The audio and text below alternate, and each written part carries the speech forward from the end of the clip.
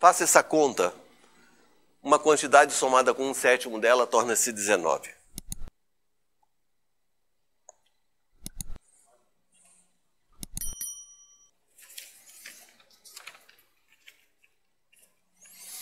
Uma quantidade x, hoje é x, né?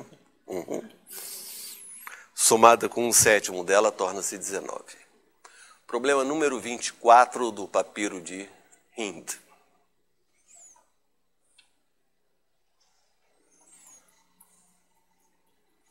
Tem quase 90 problemas no papiro. É um papiro só matemático.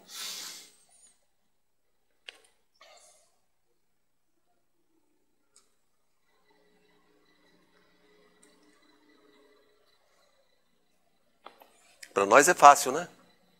Para o nosso aluno, depois que ele aprende a, a manejar um pouquinho de, de álgebra, também é fácil. Ok? Então agora vamos ver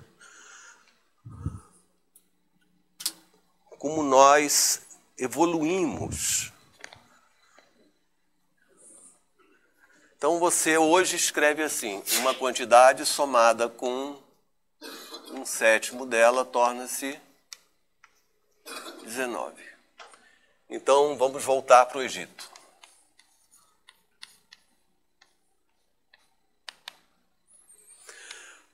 O raciocínio era assim: o indivíduo dava um chute para a quantidade desconhecida.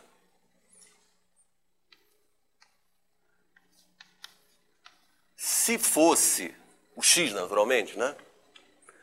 Aí ele saca um número. Se ele fosse inteligente, ele saca um, para X um número que facilite os seus cálculos. Se fosse 7, se o x fosse 7, daria 8. Mas não deu. Tem que dar 19. A resposta é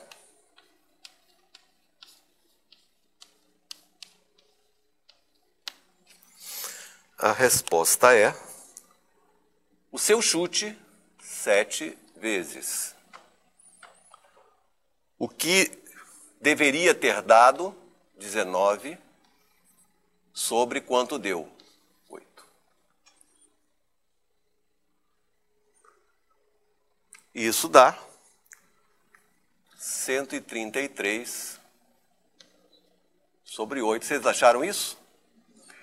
Pois é, mas se tivessem no Egito, não, não achariam isso não. Vocês achariam 16 mais 5 oitavos. E 5 oitavos a gente, por uma, uma coincidência, acabou de resolver ali, né? É 16 mais um meio mais um oitavo. Essa é a resposta.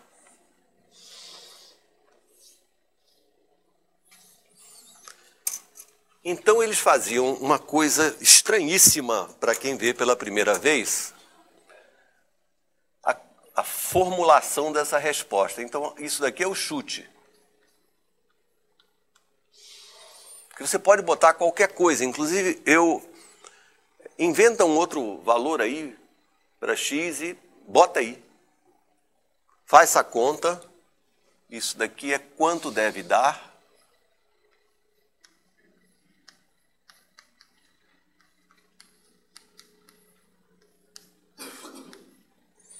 E aqui é quanto deu após o seu chute.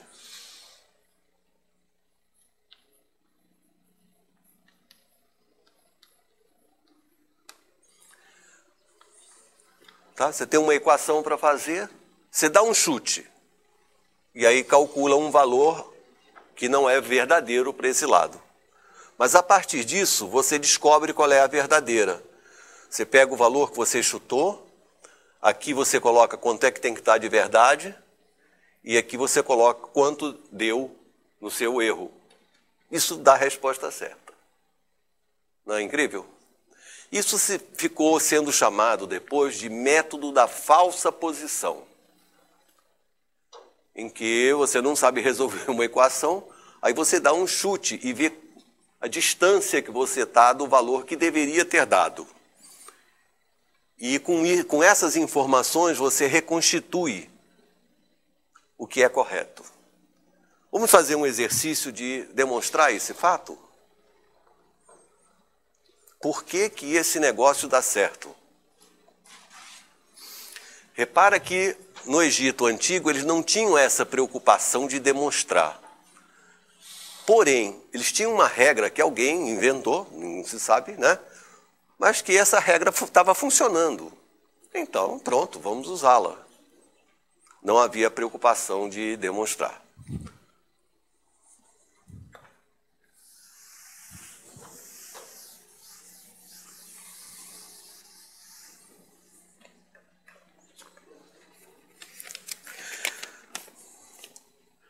Vamos. É...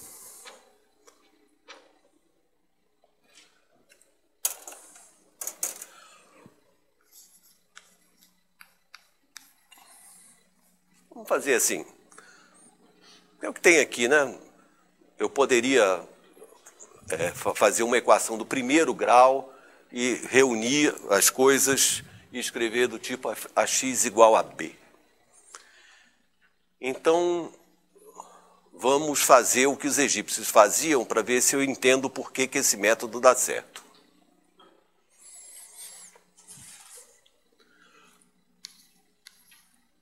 Se o x fosse x0, estou copiando dali, né? Daria um resultado AX0 eu vou chamar de B0. É? Se fosse 7, daria 8. Se aqui fosse x0, esse resultado do lado esquerdo daria AX0. Eu estou chamando então de B0. Como é que ele monta a resposta certa a partir dessa informação? A resposta é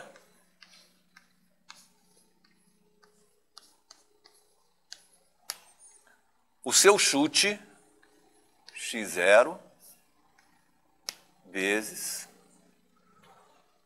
que, que tem no numerador? Quanto deve dar?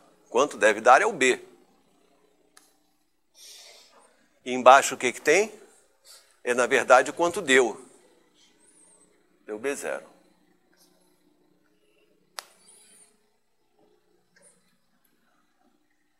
Então, ele afirma que isso daqui é o valor desse, desse x aqui. Será que é mesmo?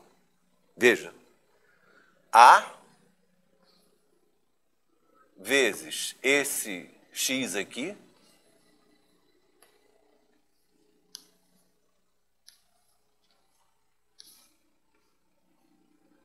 Quanto dá A vezes esse x? Olha aqui. AX0, AX0 não é B0? É. Então está B. esse é o valor. Realmente, é o valor correto de X. Método da falsa posição. Repara que naquela época e por muito tempo não se tinha a ideia de escrever x igual a b sobre a. Isso é uma coisa inimaginável. Então, para calcular um, um valor numa equação do primeiro grau, é isso. Você dá um chute, aí você erra. E aí, usando quanto daria e o seu chute, você reconstitui, você encontra a resposta realmente.